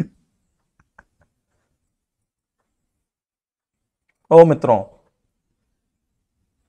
चलिए, अगला खूबसूरत सवाल। बहुत ही खूबसूरत है ये तो। छियासी हज़ार चार सौ रुपए का सोलह सही दो बटे तीन वार्षिक चक्रवृद्धि ब्याज की दर पर दो वर्ष छह माह का चक्रवृद्धि ब्याज कितना होगा? दो वर्ष छह माह का चक्रवृद्धि ब्याज कितना होगा? जल्दी से बताओ भाई, क्या आंसर होगा? दो वर्ष, छह माह का चक्रवृद्धि ब्याज कितना होगा? सोलह सही दो बटे तीन परसेंट यहाँ पर दर दे रखी है उसने। और वार्षिक बोल रहा है, इस बार तो छह महीने में हिसाब नहीं करना है। सरल ही सवाल है। सोलह सही दो बटे तीन परसेंट। अगर इसको आप फ्रैक्शन में चेंज करोगे तो सोलह तीन अड़तालीस और दो पचास बटे कितना हो जाएगा? तीन परसेंट। पचास बटे तीन को भी फ्रैक्शन में चेंज करना है तो पचास बटे तीन ये गुणा में सौ। पचास से कैंसिल दो बार तो कितना हो गया? एक बटे छ कितना हो गया यहाँ पर? एक बटे छ हो गया। आज तो सुपर से भी ऊपर जा रहा है।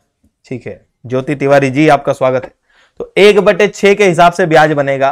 पहले दो साल का ब्याज आप निकालेंगे तो दो साल का ब्याज क्या होता है? Two A plus B. पहले दो साल का निकाल लो, फिर हम निकाल लेंगे छह महीने का। दो वर्ष। और किसकी बात कर रहा है? वो छह माह की। एक साल की दर अपनी कितनी है? एक बटे छ तो छह माह की दर कितनी होगी अपनी? एक बटे बारह होगी दोस्तों। क्योंकि एक बटे छह का आधा करेंगे हम तो एक बटे कितना होगा ये? बारह होगा यहाँ पर, ठीक है? तो दो एक वर्ष की हमारी दर है एक बटे छह छह माह की दर कितनी होगी? एक बटे बारह, ये एक बटे बारह बाद में कम आएगी, ठीक है? टू ए प्लस बी अगर हम निकालेंगे तो ये होगा यहाँ पर ए जो है, वो होगा आठ छह चार डबल ज़ीरो का कितना? एक बटे छ इससे इसमें भाग लगाएँगे यहाँ पर आठ छह चार डबल ज़ीरो में छह से तो ये हो जाएगा आपका एक, फिर चार फिर चार डबल ज़ीरो चौदह हज़ार चार सौ। फिर चौदह हज़ार चार सौ का निकालेंगे, यहाँ पर कितना एक बटे छह, जिसका कैलकुलेशन अच्छा वो जल्दी कर पाएगा सवालों को। चलिए। ओ मेरे मित्रों 120 की संख्या कर दी तुमने, क्या बात है? क्या बात है? मतलब तुम आज क्लास बंद करने का मना कर रहे हो, मैं तो सोच रहा था कि छुट्टी कर दूँगा अब। मेरे को फ़ायदा हो गया, कम हो गई संख्या तो। फिर 113 हो गए। अब देखो 14400 में छह से आप भाग लगाएँगे तो कितना आएगा ये? ये आपका आएगा छह दुना बारह, चौका चौबीस सौ चौबीस सौ। तो यहाँ पर ए की वैल्यू आ गई चौदह हज़ार चार सौ। बी की वैल्यू कितनी आ गई? यहाँ पर चौबीस सौ आ गई। तो टू ए प्लस बी की वैल्यू कितनी होगी? तो टू ए प्लस बी की वैल्यू होगी, इसमें गुणा कर लो दो का और प्लस कर लो इसे। तो चौदह हज़ार चार सौ गुणा दो, अट्ठाईस हज़ार आठ सौ, अट्ठाईस हज़ार आठ सौ प्लस चौबीस सौ जोड़ोगे तो ये हो जाएगा कितना? इकतीस हज़ार दो सौ। तो ये तो ब्याज आपका आ चुका है कितने साल का? दो साल का। लेकिन छह महीने का ब्याज और निकालना है, जो दर होगी आपकी एक बटे बारह, क्योंकि एक साल की अगर एक बटे छह है तो छह महीने की एक बटे छह का आधा होगा। कितना होगा दोस्तों? एक बटे यहाँ पर बारह होगा, ठीक है? तो आप क्या करेंगे अब? छियासी हज़ार चार सौ का कितना निकालेंगे? एक बटे बारह। और जो ब्याज पीछे मिल चुका ना आपको, इकतीस हज़ार दो सौ, उसका भी कितना निकालना है आपको? एक बटे बारह निकालना है। छियासी हज़ार चार सौ का एक बटे बारह निकालोगे तो बारह सत्य चौरासी होता है। और फिर यहाँ बच जाएगा कितना? दो बारह, दो ना चौबीस, बहत्तर सौ आएगा ये टोटल और ये आप निकालोगे, एक बटे बारह तो बारह दो ना चौबीस, और ये कितना हो जाएगा आपका? बार छंग बहत्तर। ठीक है, छब्बीस सौ समथिंग कितना आ रहा है? चौबीस सौ। बारह दो ना चौबीस, बचेगा कितना यहाँ पर? छह सात बहत्तर। छब्बीस सौ। ठीक है। तो बहत्तर सौ ब्याज ये मिला, फिर छब्बीस सौ ये मिला, और पहले मिल चुका है इकतीस हज़ार दो सौ।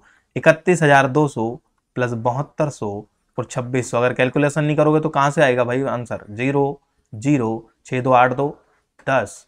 ये हो जाएगा एक और एक दो, सात दो नौ नौ दो ग्यारह, तीन और एक कितना होगा? चार। इकतालीस हज़ार रुपए। ऑप्शन नंबर ए आपका क्या होगा? सही होगा। सभी बता रहे हैं यहाँ पर सी सी सी वारे गरीबों सी जिनने ए बताया वेरी गुड जिनने ए बताया है, बहुत बढ़िया, बहुत शानदार। सर, सबकी हालत बस सूरत हो गई। तो ए यहाँ पर आंसर होगा। देखो, ब्याज तो निकालना पड़ेगा यार। अगर नहीं निकालोगे तो कैसे मज़ा आएगा? ठीक है? चलिए तो इकतालीस हज़ार आपका क्या होगा? यहाँ पर आंसर होगा। अगला खूबसूरत सवाल। पंद्रह प्रतिशत प्रतिवर्ष की दर से दो सही एक बटे दो वर्ष के लिए चार हज़ार छियानवे रुपए की राशि चक्रवृद्धि ब्याज क्या होगा? अगर ब्याज दस मासिक रूप से संयोजित होता है। हर दस महीने में वो ब्याज को संयोजित कर रहा है मेरे मित्र। जल्दी से बताओ इसका आंसर क्या होगा। जल्दी बताइए। इसका आंसर बताइए जल्दी से। दस महीने के हिसाब से संयोजित कर रहा ब्याज को अब वो।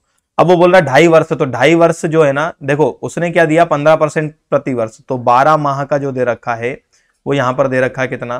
पंद्रह परसेंट। ठीक है? तो एक माह का कितना होगा? एक माह का होगा पंद्रह बटे बारह। अब दस माह की अगर वो बात कर रहा है तो दस माह का जो यहाँ पर रेट ऑफ़ इंटरेस्ट होगा, वो होगा पंद्रह बटे बारह गुणा कितना? दस। ठीक है? पंद्रह बटे बारह गुना कितना हो जाएगा? यहाँ पर दस हो जाएगा। आप इसे कैंसिल कर लो। तीन से कैंसिल होगा चार बार, तीन से कैंसिल होगा पाँच बार। दो से यहाँ पर ये कैंसिल होगा कितनी बार? पाँच बार। और दो से कैंसिल कितनी बार होगा? दो बार। मतलब दस माह की जो रेट ऑफ़ इंटरेस्ट होगी, वो होगी पच्चीस बटे दो परसेंट। कितना होगा? पच्चीस बटे दो परसेंट। और इसे फ्रैक्शन में चेंज करूँगा तो होगा पच्चीस बटे दो गुणा सौ मतलब पच्चीस चौके सौ। तो एक बटे कितना परसेंट हो जाएगी? आठ परसेंट हो जाएगी। मतलब रेट ऑफ़ इंटरेस्ट आपकी कितनी आ गई? यहाँ पर एक बटे आठ सॉरी परसेंट हटाओ। फ्रैक्शन में कितना हो गया? एक बटे आठ। तो एक बटे आठ, एक बटे आठ। सर क्लास बंद मत करो। ठीक है ठीक है, नहीं कर रहे हैं बात। एक बटे आठ के हिसाब से आपका ब्याज बनेगा। अब वो बोल रहा है दो सही, एक बटे दो वर्ष। तो टोटल ढाई वर्ष है। ढाई वर्ष में कितने महीने होते हैं? तीस महीने होते हैं। अगर ढाई वर्ष, भाई ढाई वर्ष में तीस ही महीने होंगे ना? तीस महीने अगर होंगे तो पहला दस माह, फिर दस माह, और दस माह। तीन बार दस दस माह पे हिसाब होगा। तो एक बटे आठ, फिर एक बटे आठ और फिर क्या होगा? एक बटे आठ होगा दोस्तों यहाँ पर। पहले होगा एक बटे आठ, फिर एक बटे आठ और फिर क्या होगा? एक बटे आठ होगा यहाँ पर, क्योंकि एक बटे आठ के हिसाब से यहाँ पर ब्याज मिल रहा है। तो तीन साल का एक बटे आठ के हिसाब से आपको ब्याज निकालना है। पहले चार हज़ार, देखो कितना निकलता है? तीन साल का थ्री ए प्लस, यहाँ पर कितना? Three B plus C. इस हिसाब से आपको ब्याज निकालना है। अब वो बोल रहा चार हज़ार छियानवे रुपए की राशि पर क्या ब्याज होगा? तो ए निकालेंगे, चार हज़ार छियानवे का कितना एक बटे आठ।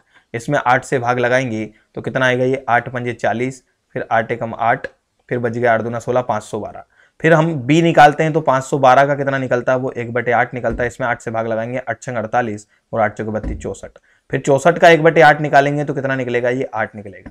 तो ये ए की वैल्यू, ये बी की वैल्यू और ये किसकी वैल्यू है? यहाँ पर सी की वैल्यू है। थ्री ए मतलब तीन गुणा पाँच सौ बारह थ्री बी मतलब तीन गुणा चौंसठ, और सी मतलब कितना हो गया आठ। पाँच सौ बारह में तीन का गुणा करोगे तो पाँच तिया पंद्रह सौ छत्तीस, चौंसठ में तीन का गुणा करोगे तो छत्तीस या बारह, चार तिया कितना हो जाएगा छत्तीस या अठारह, और चार तिया कितना हो जाएगा? बारह हो जाएगा। टोटल यहाँ पर इनको ऐड करोगे आप तो ये आना है एक सौ बानवे तो ये हो जाएगा, ये हो जाएगा पंद्रह सौ छत्तीस, और ये आठ। तो टोटल जोड़ने पर यहाँ पर आपका सवाल आएगा, मेरे मित्र, आंसर आएगा सत्रह सौ छत्तीस। कितना आएगा? सत्रह सौ छत्तीस। Option number B option number B. Option number क्या होगा? बी। अभी तक सोया नहीं हूँ तो दो बार जीएन बोल चुका हूँ। जी जी, रविंद्र। दो बार जीएन बोल चुके हैं आप। वीरेन, चलिए। तो ये आपका इक्कीसवा सवाल। अब देखो, दो सवाल होमवर्क में दे रहा हूँ। अगर हो तो कर लेना, नहीं हो तो कोई बात नहीं, ठीक है? दो सवाल होमवर्क में दे रहा हूँ। एक तो ये, एक निश्चित धनराशि पर चौदह दशमलव दो आठ परसेंट वार्षिक चक्रवृद्धि ब्याज की दर से एक साल एक सौ छियालीस दिन में प्राप्त ब्याज चार सौ आठ रुपए है तो मूलधन क्या होगा? ये मैं कल की क्लास में बताऊँगा। आज की क्लास में यही समाप्त कर रहा हूँ। इतना ढंग से पढ़ लेना पहले आप, ठीक है? बाकी चीज़ें मैं सब बता दूँगा। एक भी टाइप नहीं छोड़ूँगा मैं, ठीक है? भले चार महीने हो, तीन महीने हो, सात महीने हो, पाँच महीने हो, ठीक है? अब देखो, एक ये सवाल है, इसका भी स्क्रीनशॉट ले लो जरा। इक्यासी सौ रुपए की राशि एक सही एक बटे चार वर्ष के लिए आठ प्रतिशत प्रतिवर्ष की दर से चक्रवृद्धि ब्याज क्या होगा? जबकि ब्याज प्रति माह, जबकि ब्याज प्रति माह प्रति पाँच माह पर संयोजित हो, है ना? ठीक है, ये बताना है आपको। चलिए तो आज के लिए इतना ही काफ़ी है। बहुत बहुत धन्यवाद आपका यहाँ पर जुड़ने के लिए। सितारों को आँखों में महफूज कर लो, बहुत दूर तक रात ही रात होगी। मुसाफिर हो तुम भी, मुसाफिर हैं हम भी। इसी मोड़ पर फिर मुलाकात होगी। कल फिर क्लास लगेगी, है ना? ध्यान रखना, कल मैथ की क्लास रहेगी। चलिए गुड नाइट